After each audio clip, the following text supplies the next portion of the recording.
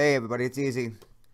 Coming to you late night after a big war win versus uh, this Mongoose clan.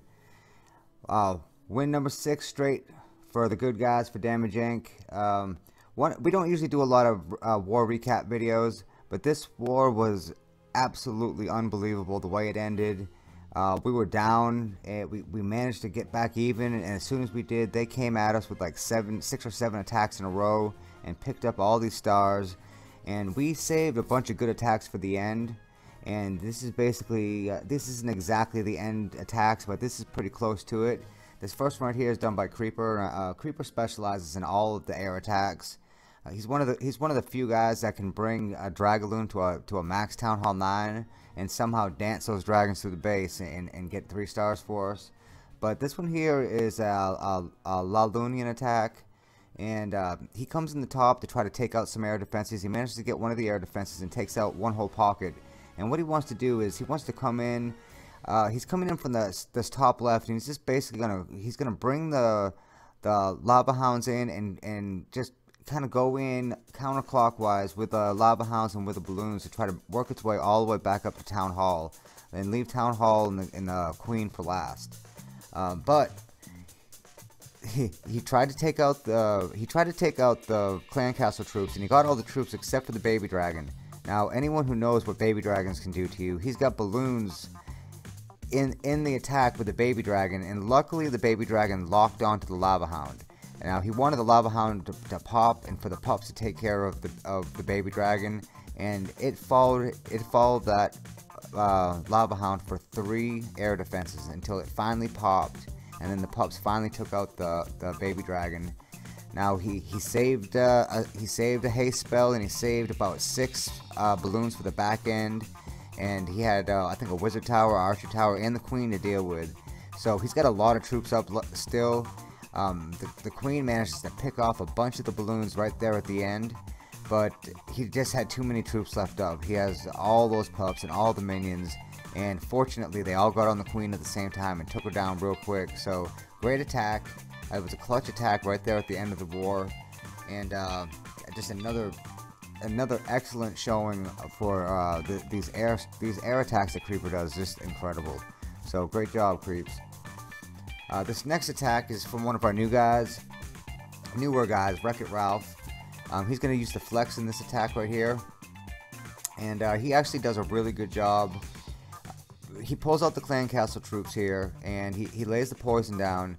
Uh, the, for some reason, though, the clan castle troops kind of plowed through the poison and almost got to the queen. He ends up having to pop the queen's ability, which a lot of people they don't want to use the queen's ability and they'll they'll bring the queen almost all the way down and sometimes you'll lose your queen and when you're doing a, uh, an attack that has a, that's heavy with a queen walk you, use the ability if you have to it's it's it's worth keeping her alive because the healers might keep her up the entire raid if you lose her right at the beginning the odds of three starring just dwindle down to next to nothing so with the flex attack if you're not familiar with it it has a queen walk and a bowler walk each of them with three healers on their backs. And then, then in the core of the base, uh, you put in giants, wizards, and valkyries, and uh, a couple rage and a couple heal spells. And the, the way the attack is supposed to work is you want the you want the bowler walk and the queen walk to go around the outside of the base. You really don't want those troops to go inside the base. The bowlers can they can they can shoot over the walls. Um, they they can double tap a lot of these defenses and go two defenses back. Uh, uh it didn't happen in this particular case, and they lost the queen. Uh, I'm sorry, they lost the healers. But meanwhile, the queen is going around the backside. Um, the the core got taken out almost all the way, and and that's one thing that the flex does is there's not a lot of troops in the middle because you have six healers. You have six healers in this attack, so that's a lot of um, you know that's a lot of camp space for six healers. So you'll see a lot with the flex. You'll see a, lo a lot of times. You'll see. Wow, I'm tongue tied, man. Uh, a lot of times you'll see the queen walk and the bowler walk meet in the back side of the base to take out those last couple trash buildings and those last couple defenses. So good job, Wreck-It Ralph. Now this next one is by Romper Stomper. Romper is you can't have him. He is one of the best attackers in the game. Um, excellent player, smart. He's just he, one of the co-leaders, one of the co-creators of the clan, and a friend.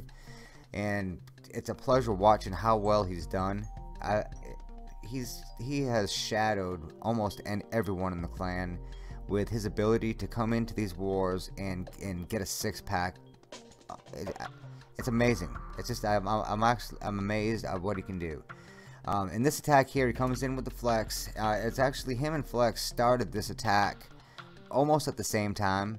They've both been using it now for months, and they can do this attack backwards and forwards in their sleep. So he comes in with a queen walk up top. He's got a level 40 queen. He maxed out completely before he went to Town Hall 10. So now he's got now he's going into these attacks with with a level 40 queen, and you can see the difference between your level 28 and 29 queens in the queen walk, and when you have a level 40. She is so sturdy, and she punishes everything she shoots at. So he is the prime example of why you want to max out before you go to the next Town Hall level.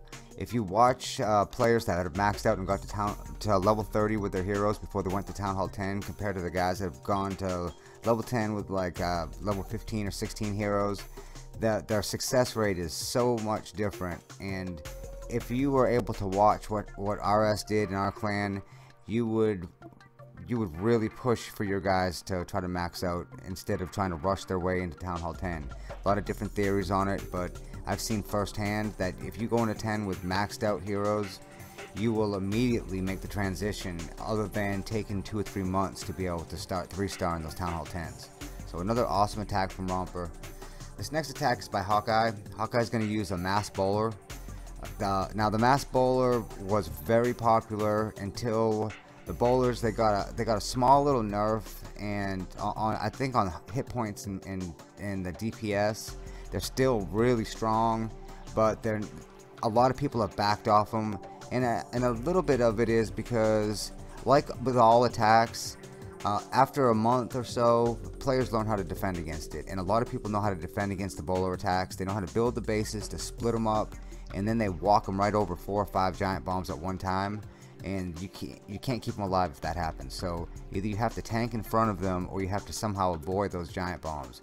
Now here, he's a Town Hall 11 attacking a Town Hall 10, and this is a super close war. We had to have three stars out of these attacks just to stay even with them.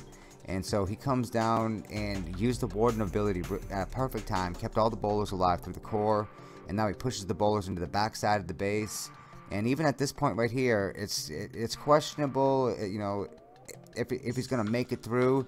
But um, he, he, he postured himself really well for the for the end of this uh, attack right here, and um, as well as this town hall 10 was built, it didn't have enough. It didn't have all the giant bombs together. So that's that's what really ends these attacks with the, with the bowlers. Um, you can see the, the impact marks of all the giant bombs and you can see all the space that there is in between them. A lot of them were in that bottom compartment but they weren't together enough for the healers to heal them up a little bit before they hit the next one. So all the bowlers lived.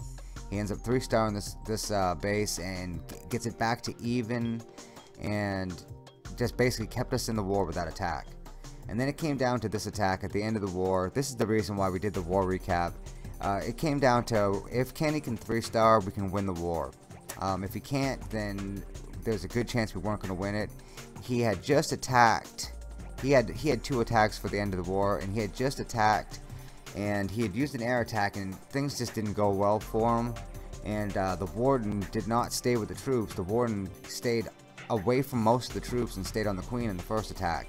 And somehow the warden was set to air and somehow he went over and took town hall and got a clutch star for us to get us to keep us at even and then he came right back with it you know being brave he came right back with the same attack on number four and this is the base that I had attacked earlier and I thought I was for sure gonna get at least two stars on it but my troops parted like the Red, Red Sea took everything in the base but town hall and I got a high level one star and, and so Kenny has to attack it he has to get three stars it's another Town Hall 11 versus Town Hall 10. And in this attack, Kenny showed how how long he's been playing and how well he can he can use these air troops. He pushed through this, the core of this base and he turned this Town Hall 10 into like an 8.5. Uh, at this point right here, there's no doubt that he three-starred the base. I don't even think the last Lava Hound's going to pop. Um, one thing you'll notice uh, when you have the Warden is if you can keep the Warden up with your troops and you can use his ability while all the troops are in the core, when all the Inferno Towers are, are, are starting to burn down, um, that, that, that, that's the game changer. That's why Town Hall 11 is so much stronger than Town Hall 10. So, uh, hats off to the guys in this war. Uh, we ended up winning by two, I believe, because of the three star. So, uh, good job, guys. Uh, any of you still left, thanks for watching the whole video. Uh, if you haven't subbed to the channel yet, please sub to the channel, like the video. Uh, till next time, this has been easy.